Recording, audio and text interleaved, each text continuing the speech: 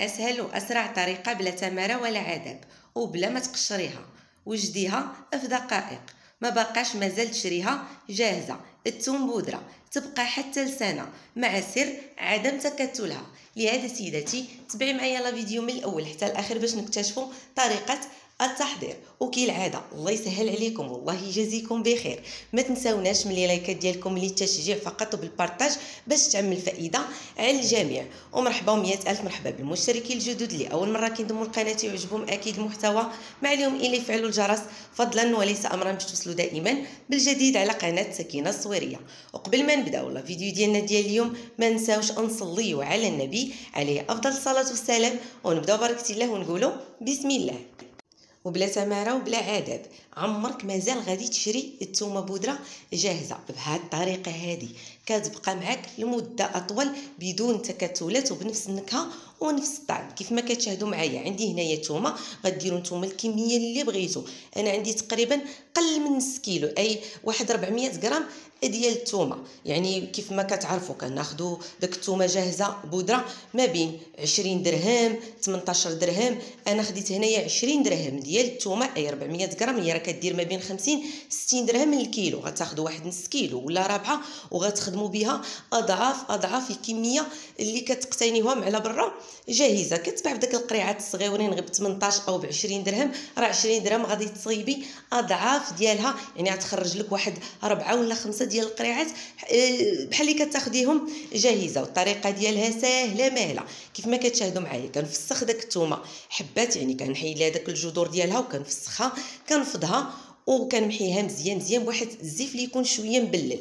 كناخذ هنايا الطحانه وكنطحنها. السر الأول هو واحد رشة من الملح. أي راس معلقه صغيرة ربع ملعقه صغيرة من الملح. وغادي نطحنوها في الهاشوار أو في الطحانة. ماشي نطحنوها حتى كتعجل لينا ولا كتطلق لينا الماء. لا كنطحنوها ما بين وبين بزاف. الناس غيسولوا علاش درتيها بالقشرة وعلاش غير تبعوا معايا. كيف ما كتشاهدوا معايا. كنطحنها على هذا القوام هذا تماما. ما نخليوهاش نطحنوها حتى تطلق لينا الماء نهائيا.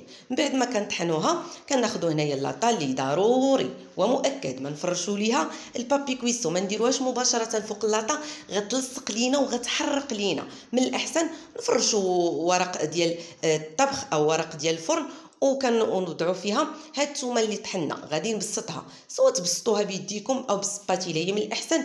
أنا راه كنبسطها بيديا غير ما بغيتش نخدمها بيديا. غيجيو هناك تناقضات وتعاليق العصا في الرويضة.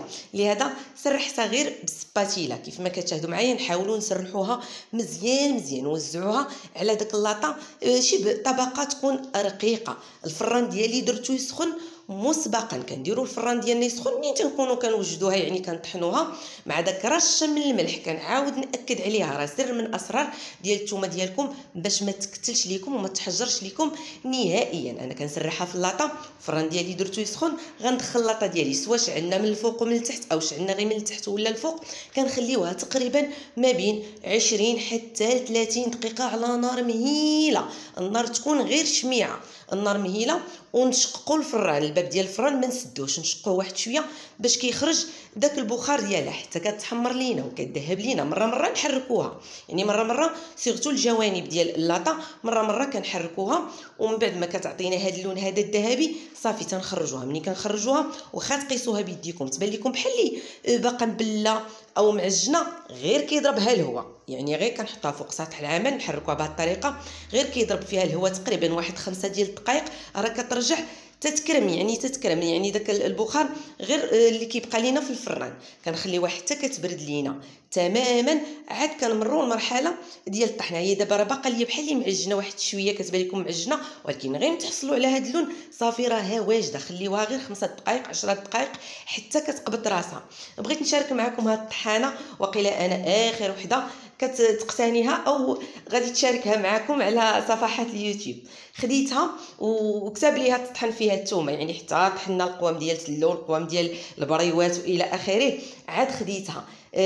صراحة أنا ما كنديرش اشهار نهائيا ولكن راها أه, أه، شي حاجة طوب إلا كانت عندك شي حاجة رائعة. ودابا ولات في متناول الجميع. الثمن ديالها كيبدا من 300 درهم أي 6000 ريال. بحال هذه اللي خديت أنا ب 6600 وانت يا غادة على حسب العبارات. شحال هذه كانوا كيتباعوا غير ديال كيلو ما فوق. دابا راه ولاو ديال رابعة نص كيلو وانت غادة غتختاري اللي بغيتي. بالنسبة لهذه راه كافية. لربة البيوت طحنوا فيها العطرية طحنوا فيها اللوز الكاوكاو. ملي كيبغيو داك التعليكة ديال الكاوكاو معلك أو اللوز ما يضطروش يخرجوه يطحنوه على برا. آه كتب لي هي تطحن فيها الثومه ما تكتبش لي تطحن فيها لا كاوكاو ولا لوز. كيف ما كتشاهدوا معايا. أنا كنطحن آه أنا غير بركت على البوطون تقريبا من باغي ثواني. وحليت عليها لقيتها رداتو بودرة بحال السكر كلاصي واخا ما بغيتوش يكون ليا أنا بحال السكر كلاصي بغيتو يبقى شوية هكا بحال السميد أو يعني تماما بحال الثوم بودرة اللي كنقتنيوها. ولكن راه زربات عليا وزربات عليه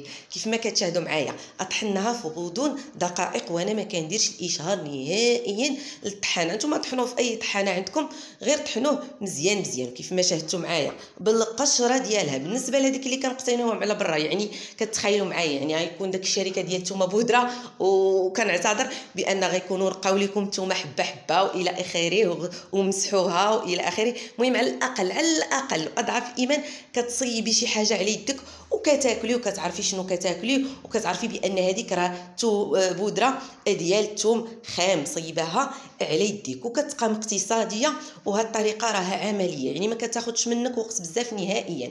أنا كنت حاطة حدايا الغربال باش غنغربلها يعني آه على حسب الطحن اللي غادي نطحن ولكن هذه راه طحنه تاليه ما نحتاجش نغرب لها نهائيا. بالنسبة لها الطحانة هذه نتوما اللي طحنتوها في الطحانة العادية غربلوها دوزوها في واحد الغربال ما يكونش رقيق بزاف وما يكونش غليظ دوزوها واحد التغربيلة اللي تكون خفيفة. غير نذكر ملي تبغيو تطحنوها حتى كتبرد ليكم تماما. هذا راه سبب من أسباب باش كتبقى تكتل لكم كتقولوا راه طحناها ودرنا في قريعات وبقات لينا واحد المدة أسبوع أو أسبوعين وراها تحجرات لينا. خليوها حتى تبرد لكم تماما. وكذلك منين طحنوها يعني منين كنطحنوها حتى ديك الطحانة راه كدير فيها الحرارة. عاود منين نطحنوها؟ ماشي مباشرة نوضعوها في داك القريعات. نخليوها واحد نص ساعة أو ربع ساعة أو ساعة حتى كتبرد لينا تماما. عاد كنديروها في القريعات باش ما كيرجعش عليها داك الصهد ونده ديال الحرارة وكترجع تكتل لكم مع المدة والسر ديالها هو داك المليحة ونخليوها حتى كتبرد باش عمرها ما كتحجر ولا كتقصح كتبقى معنا كما هي. وكيف ما كتشاهدوا معايا هذه هي الثومه بودرة. تقريبا غير ما كاملاش 400 غرام كيف ما قلت لكم ديال الثومه واحد 20 درهم. كتعطيني أضعاف ديال هذيك اللي كنقتنيوها من على برا بربعة حتى لخمسه ديال المرات. هادو راه تقريبا راه جوج قريعات اللي كاينين في هذا في هذا الطبيسيل هذا. وكذلك هذه العلبة هذه آه، فيها ثمن جوج قريعات ديك اللي كناخذ يعني عطاتني آه، ربعة اف واحد بثمن وحده عطاتني ربعة. ربعة ديال القريعات ديال البودره ديال الثومه اللي كنحتاجوها بزاف في الوصفات ديالنا. لهذا بغيت نسبقها قبل ما نبدا معكم الوصفات اللي غادي نوظفوا فيهم هاد الثومه بودرة. باش ما تلقاوش حتى شي إشكال وما تمشيوش تشريوها ما بغيتش مازال نلقاك تشري بودرة ديال الثومه نهائيا غتحضريها في البيت ديالك بكل سلاسة وبكل سهولة. غير تبعي الطريقة ديال التحضير. نتمنى إعجابكم لا فيديو ديال اليوم وما تنساوناش من اللايكات ديالكم للتشجيع فقط وبالبارطاج باش تعمل فائدة على الجميع. وإلى اللقاء في وصفة مقبلة إن شاء الله.